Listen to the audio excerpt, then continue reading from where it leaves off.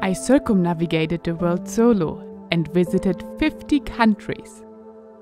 But only one of them was in Africa. So I decided to come back and ride around the continent in several stages.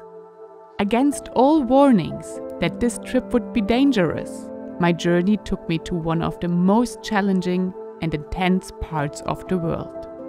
Welcome to West Africa.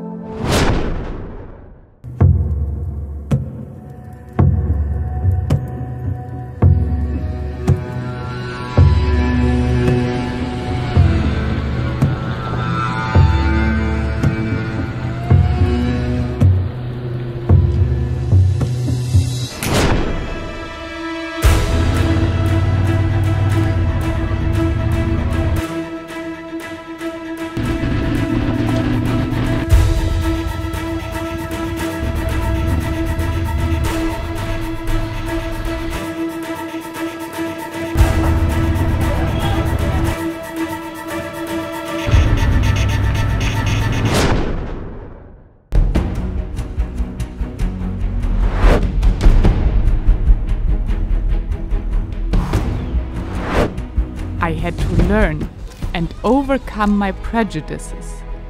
I had to challenge myself. I had to understand what trusting people really means. I saw things so beautiful and places so remote that I nearly want them to remain a secret.